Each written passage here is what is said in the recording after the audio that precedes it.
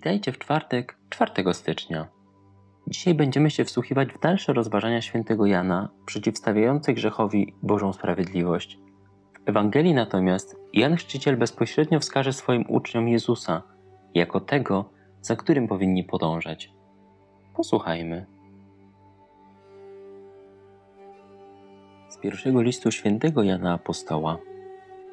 Dzieci, nie dajcie się zwodzić nikomu ten, kto postępuje sprawiedliwie, jest sprawiedliwy, tak jak on jest sprawiedliwy. Kto grzeszy, jest dzieckiem diabła, ponieważ diabeł trwa w grzechu od początku. Syn Boży objawił się po to, aby zniszczyć dzieła diabła. Ktokolwiek narodził się z Boga, nie grzeszy, gdyż trwa w nim nasienie Boże. Taki nie może grzeszyć, bo się narodził z Boga.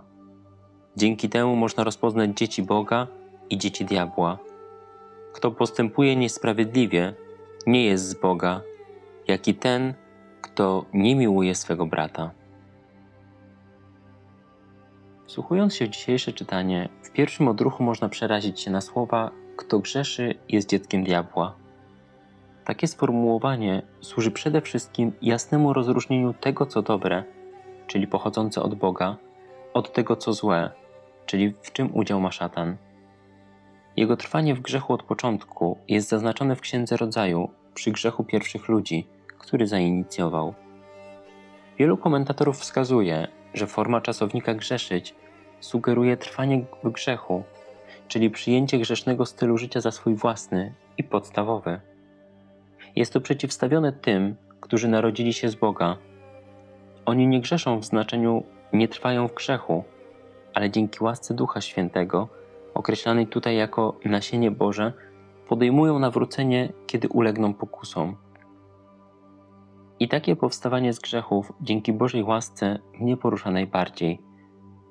Widzę w swoim życiu, że jeśli trwam w stanie łaski uświęcającej, to dużo łatwiej mi być wrażliwym na głos sumienia, nie ulegać pokusom, tylko odrzucać je i chwalić Boga za to, że pomaga mi je przezwyciężać. Ewangelii według świętego Jana.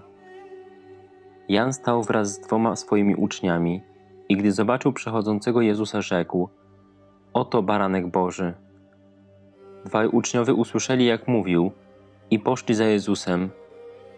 Jezus zaś, odwróciwszy się i ujrzawszy, że oni idą za nim, rzekł do nich: Czego szukacie?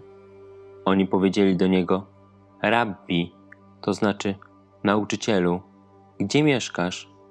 Odpowiedział im: Chodźcie, a zobaczycie. Poszli więc i zobaczyli, gdzie mieszka, i tego dnia pozostali u niego. Było to około godziny dziesiątej. Jednym z dwóch, którzy to usłyszeli od Jana i poszli za nim, był Andrzej, brat Szymona Piotra.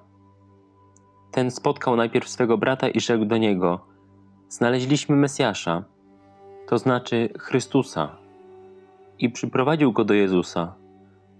A Jezus wejrzawszy na niego powiedział: Ty jesteś Szymon, syn Jana.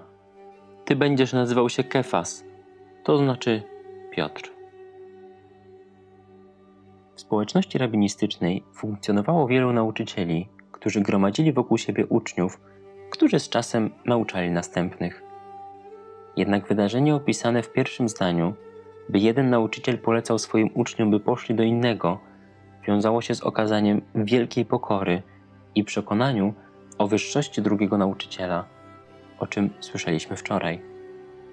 W posłaniu uczniowie widzą w Jezusie Zbawiciela, dlatego bez zwlekania rozpoczynają działalność misyjną poprzez głoszenie innym, że Jezus jest Mesjaszem.